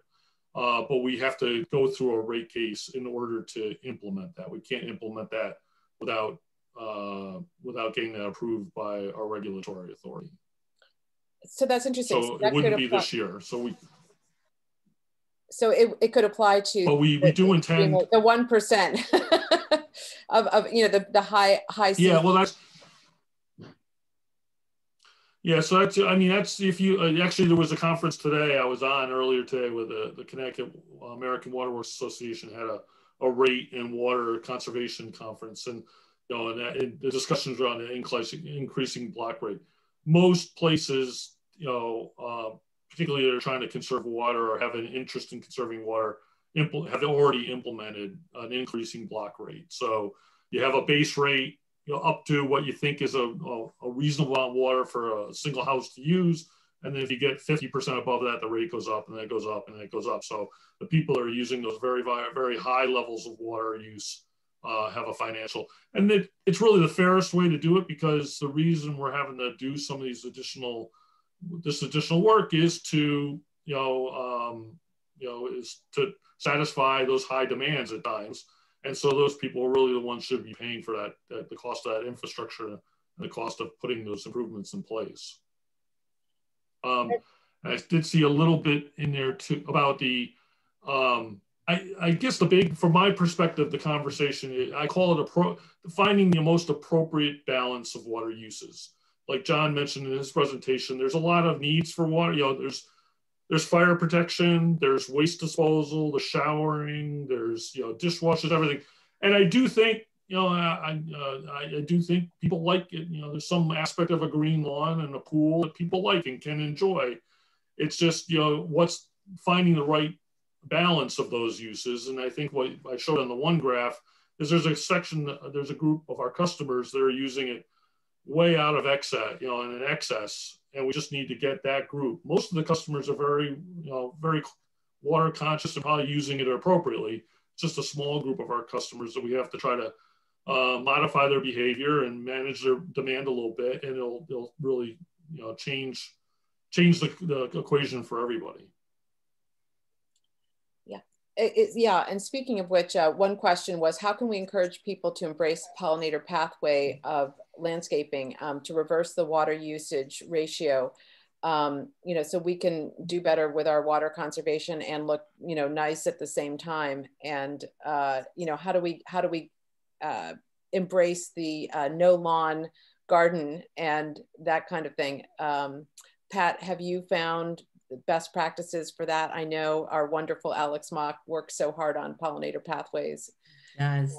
Um, yeah, so Alex, uh, the Conservation Commission and through Alex's work, we are um, having pollinator pathways throughout town. And my hope is that, um, you know, lead by example and people will um, see that these are really lovely places. They're not um, scrubby and unkempt looking, that they look like they have intention and they are attractive. Um, I would love to see any garden club people out there when we have um, the garden tours, let's highlight the homes that have less lawn. And it's not no lawn, it's less lawn um, how does some lawn complement other aesthetically pleasing landscape styles? Um, let's highlight those and you know sort of change our perception of what you know expand our perception of what's beautiful in our residential landscape. Um, and just to address someone who did, I think I know the answer to this, but is Aquarion thinking of converting ocean seawater on into fresh water? Israel knows how to do that very well. The city of San mm-hmm. Diego invested in a three billion facility for its local usage. I know it's um, very energy intensive, but uh, uh, someone asked that question. So there's two two issues we have. So Connecticut, you know, one thing that Connecticut does have, there's only two states in the country that have a requirement that uh, drinking water supplies have to come from what they call class one water bodies, uh, which means they can't have any point discharges to them, no wastewater treatment plants or anything else upstream of them. New Jersey, where I'm from, there are lots of water treatment plants downstream of wastewater treatment plants. So you're, you know, the wastewater is going into the stream or the river, and the downstream they're taking it out with a water treatment plant and treating it and and uh, to drink water. That does not happen in Connecticut. It's a uh, the rules don't allow that.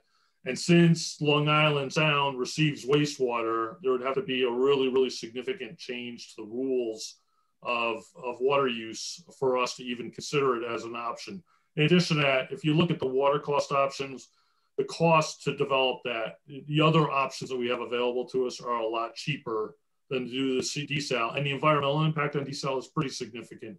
The waste that's generated, the energy usage, it's uh, it you, you, we would only use it in a, a, very very extreme circumstance, and we think there are other options that are more appropriate.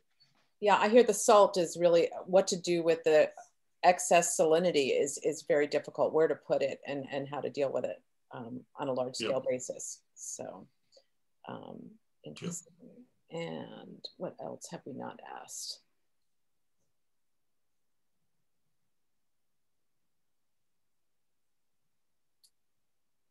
And then I had a question about, you know, I mentioned to you before when we were having a conversation about um, the state water plan and what Aquarion is, is, preparing for that. And for those that um, that don't know, uh, the state has looked at, for years at putting some some type of um, kind of memorandum of understanding on on our water uh, in Connecticut. And when you move in, you know, do you own the water underneath your your land? Is it your water, or can someone, you know, as Pat was referring to, you know, wells can make a big difference um, uh, between one's what you're drawing out of your property and the impact on others. And you know, in that it's a shared resource. Um, you know, this water plan's rather exciting. You know, some of us looked at the issue of San Jose Water uh, the San Jose Water Company looked to go buy, um, and I think they completed the transaction, one of the water companies that was yep. available for sale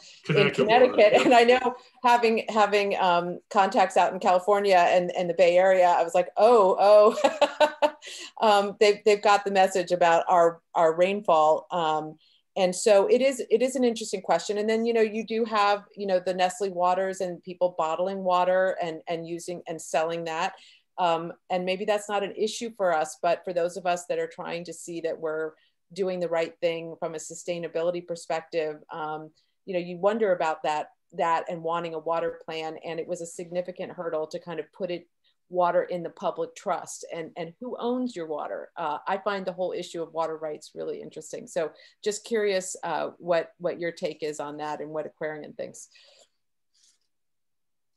Um, yeah, we're, we, you know, like we discussed before, uh, that they didn't it is in a water plan now, you know, that, it's a, the trust. We don't really understand the full implications of that yet. I think it, it's still some, um, even as recently as 2016, when um, when there were, yeah, I don't want to say which that, but there were people going in. So people didn't like our water restrictions, so they were going to the towns and drilling wells on their property so that they could irrigate outside the schedule because they didn't want to comply with a two-day week. And a couple of the towns tried to stop the people and said, no, no, we're not going to authorize permits for drilling your own irrigation well uh, right now during the drought.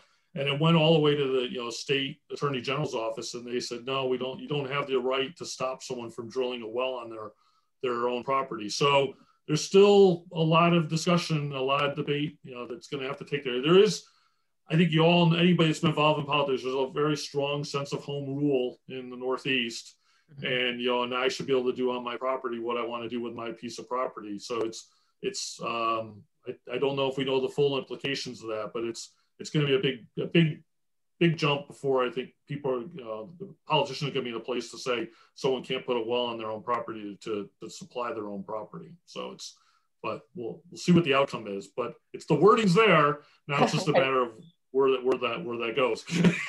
well, yeah, and it, and if and if climate change uh, continues to bless us with a, a, decent amount of water, it may not have to really be looked at. But um, but you you just never know. That was kind of a surprising thing to me when a California water company is looking to diversify here.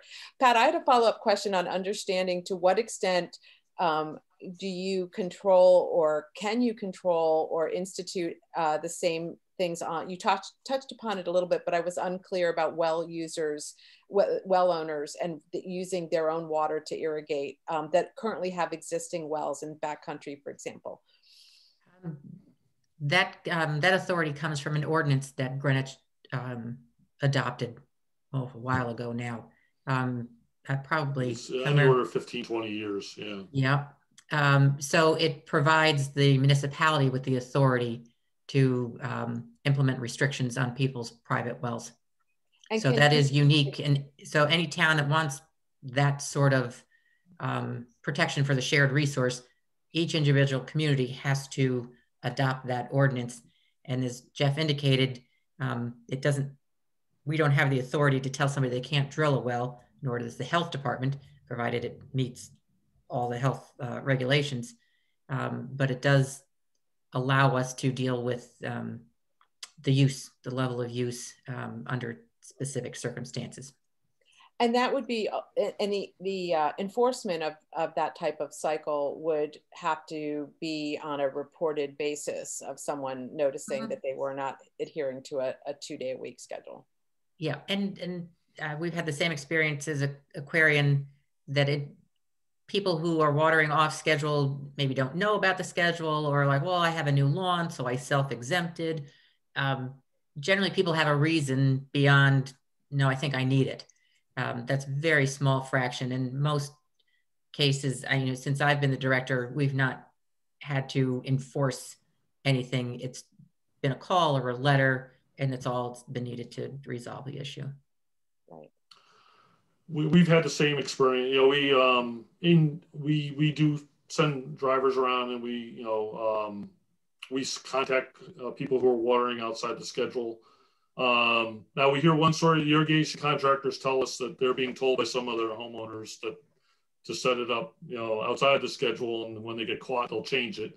Um, but in general, once we contact them one time, you know, 85, 90% of the people modify their schedule and get in conformance. There is a group of people that will argue about it and not yeah. be satisfied with it. So there's always, no matter what it is, there's always a group, always a small number.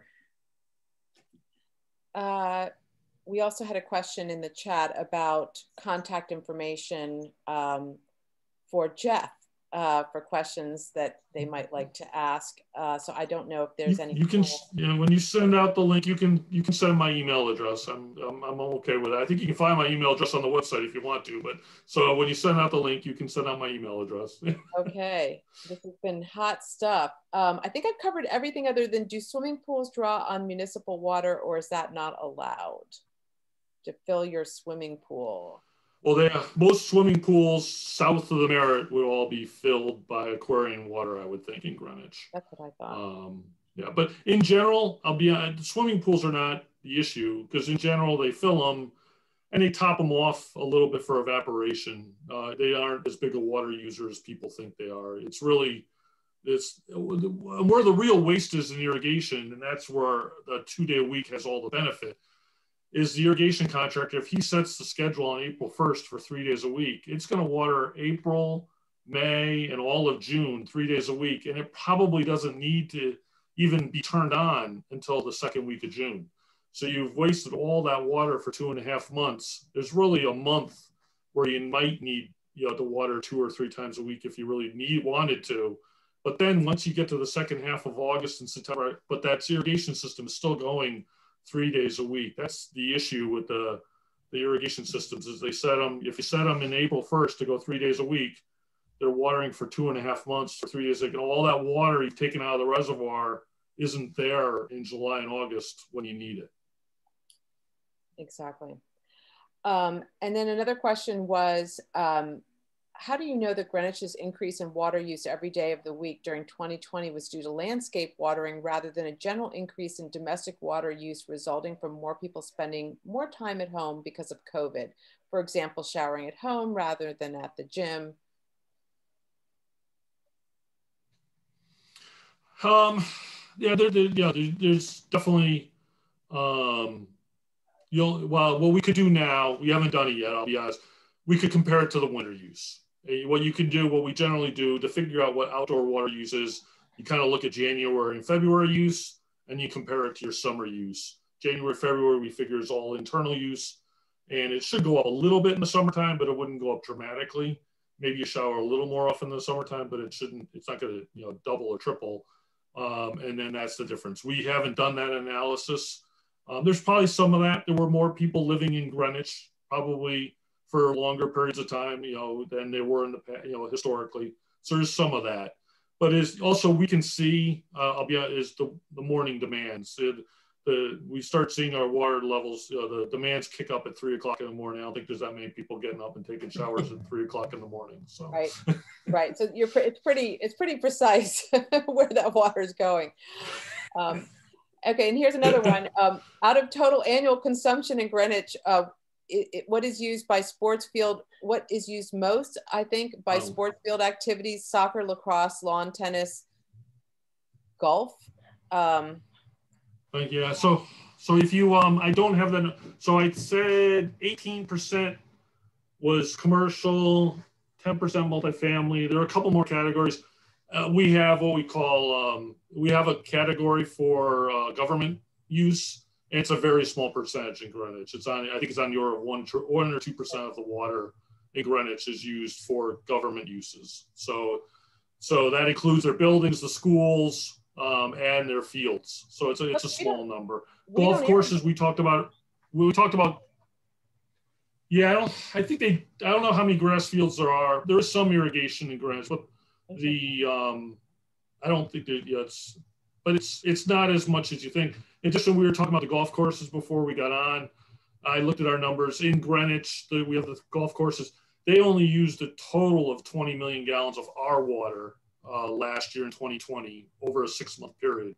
Um, so they, it's a, it's uh, it's not as much as you would think, but they do have ponds on site. They generally have their own wells that they're using. They usually only use our water when their their systems are stressed. So I don't know what they use otherwise, but in the scheme of our water system, the golf courses aren't using a lot, and they wouldn't really impact us because they're generally downstream from our reservoirs. So they their their use wouldn't impact you know water getting into our reservoirs.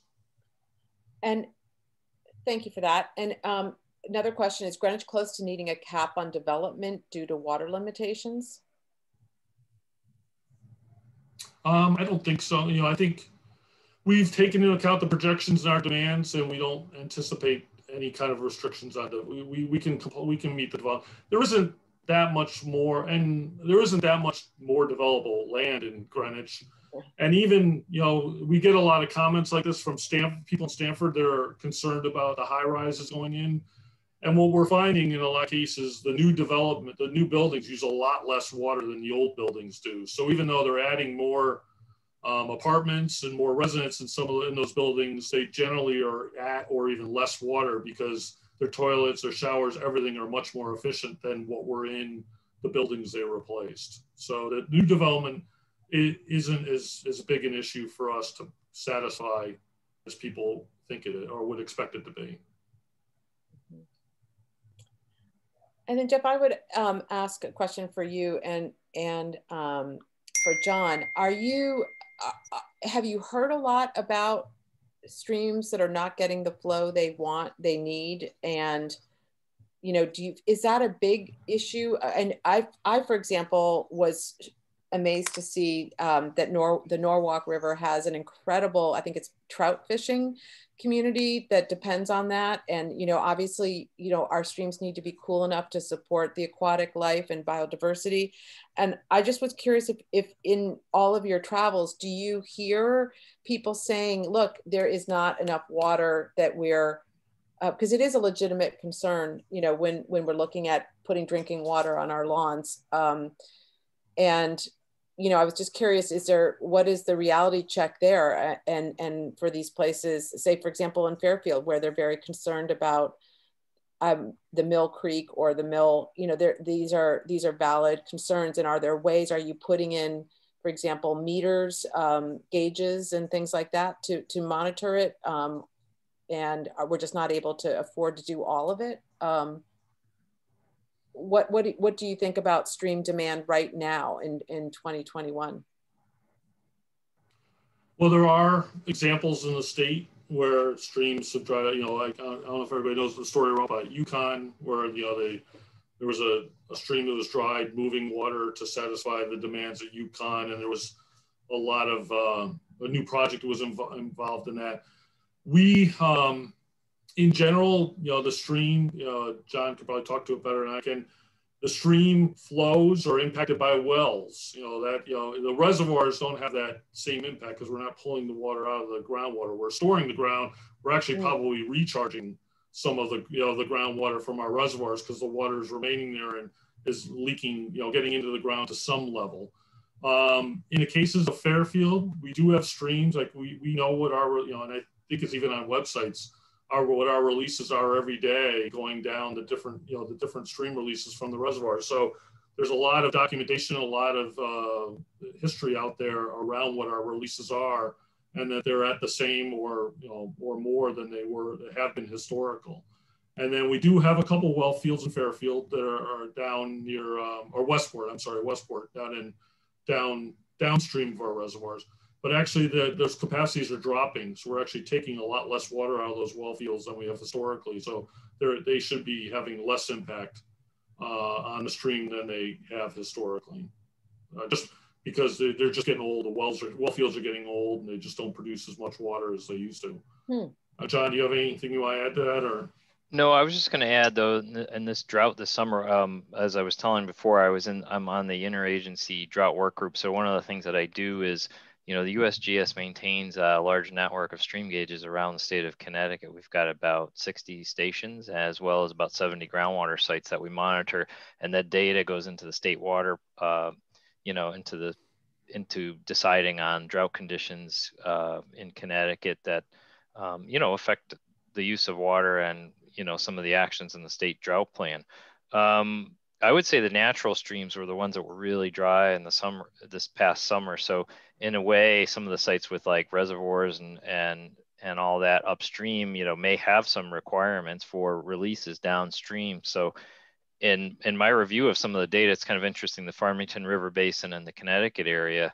It's kind of interesting comparing our gauge data from back in the 1960s drought, which is really the drought of record, to say 2016. And one, one of the things that's really clear is that we manage water quite a bit differently than we did back then, where, you know, I think at, the, at that time we might have just shut off the flow or just kept pumping or whatever. Um, so there's a lot of, you know, there's a lot more going on there, um, you know, at least as far as that goes. Um, but yeah, you know, there are some other I, examples would, of streams drying up too, as well. Sorry, what were you going to say, Jeff? I'd, I'd agree with that. I think we, I think we do a lot more. I think the full environment. When I got in the industry 30 years ago, like John said, I think there was more. Uh, the water, the water systems were, you know, they would take what the water they thought they were entitled to as much as they can. I think there's a lot more sensitivity in the industry around that, you know, the most appropriate use of water. You know, Easton, you know, the, uh, we, you know, we have Easton Reservoir at Easton and we release a lot more water from it than we have to um, by permit, we, a lot more uh, because we, we recognize the environmental benefit to the trout streams downstream of that and maintaining those. So I think, um, I think the industry has, uh, is doing a much better job than they did 30 years ago trying to uh, manage for all the different, you know, taking all, uh, all the different parties into consideration. Yeah, one uh, one of the other interesting things I was going to bring up is, especially when you look back 100 years or so, and not talking so much about our streams that we're taking drinking water from, because as as Jeff mentioned, that I think some of our sort of uh, late 19th uh, century planning actually set us up pretty well for future water supply and hmm. uh, protecting lands and all those things. And that may be one of the things that's a lot different from other parts of the country as well. Um, but uh, one of the things I was going to say is in some of our waste receiving streams, like the Quinnipiac River, it's kind of interesting. Our base flows go up because we have, you know, we take a lot of water for water supply out of the headwaters, and then it comes back in the lower reaches of the river as wastewater. And it's kind of interesting. We've actually seen that the summer stream flows in somewhere like the Quinnipiac River are much higher than they were you know, in the past. And uh, the other difference really is we probably had a lot more regulation of streams in the far past too, especially if you think about New England was industrial area. There were small dams uh, everywhere, little factories. There were people that were holding back water. Um, think about the Hockanum River right here near our office in East Hartford. There used to be multiple dams on there that would hold the water back for uh, several paper mills and things like that, even as recently as the 1960s. So you know, there are a lot of changes in the way that we manage water in this time period since, you know, kind of the right around the time of the Clean Water Act, you know, going back to like the 1970s. Fascinating. And and one last thing, John, do, do you want to touch at all about your, what are your, do, are you optimistic about Long Island Sound and what we've done? I'm, it's such a value, valuable resource to people in Greenwich um, and, and, and all of Connecticut. And, you know, I, have seen Greenwich's water quality, Pat, correct me if I'm wrong, but it, it had been, I think up at a B and I think we dropped to a C. And I just was curious, you know, where, wh whether we're really going to ever cure a lot of the, um, the problems we have with nitrogen and, and John, what are your thoughts on that and the sounds and how healthy is the sound now? Um, well, I think there's a lot of improvements. There's clearly been some improvements in the you know, the area that we have hypoxia in the summer. And one of the biggest things is there was a to- there was a total maximum daily load requirement for for nitrogen um, that was started with in cooperation with the state of New York back in 2001. And that um, requirement reduced the nitrogen loads from our wastewater treatment facilities in major rivers by, I believe it's 58%. So it's a huge there's there's a huge amount of success there with Connecticut's um, nitrogen credit trading program.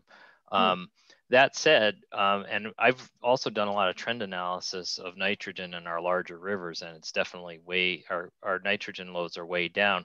Where we see things not really changing so much are in some of the smaller rivers where we have the possibility of the contribution of non-point source pollutants. So, you know, some of our rivers in like Fairfield County, we see like we have monitoring going on like Sasco Brook, uh, the Norwalk River.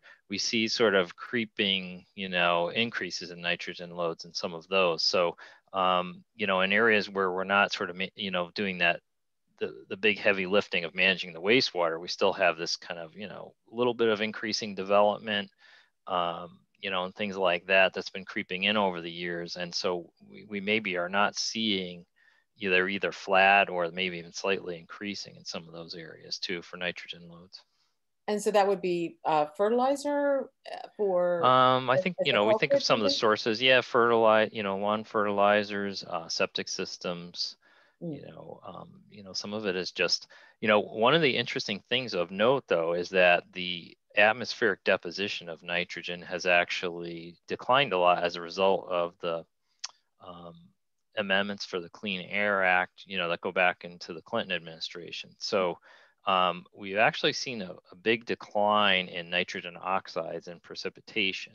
So, you know, it's a big plus, but one of the things that we're sort of looking at is our forested watersheds, you know, how do they process that nitrogen and, you know, do you still have nitrogen that came in a long time ago that's still leaving to streams and, and how, how is that going to change over time? You know, we have forests that are maturing in the state and, um, you know, those sort of things. And, you know, that there's some unanswered questions as to, you know, whether those areas are saturated with nitrogen or whether we start to see those, you know, the, the, the, the nutrient loads come down from those areas as, you know, say the air quality has improved. Hmm. That's encouraging to hear um, that some things are working. So great yeah. to know. Um, well, you all have been incredible. Um, this has been great. I mean, we now have hit the two hour mark and we still have um, a major portion of our attendees still listening. Um, so uh, haven't gone to get dinner or a glass of wine yet. So um, thank you so, so much.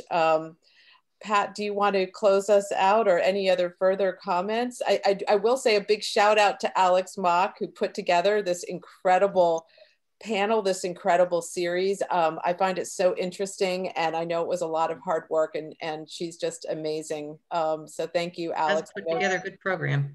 Yeah, that's Alex's vacant seat. That's her, that's right. her office. So, but she's connected via phone. So she's been listening. Um, the whole thing. So and just to thank you to, to Jeff and to John for making the time uh, to, again, generous with your time and, and helping out Greenwich to understand these very important water issues and um, always appreciative to have your expertise. My pleasure. Yes. Thank Laura, you. thank I you. Appreciate the opportunity. Yeah. Have a good night. Come back next week, everybody. Thank All you guys. Will Take do. care and have a good, good night, night everyone. You. Okay. Bye-bye.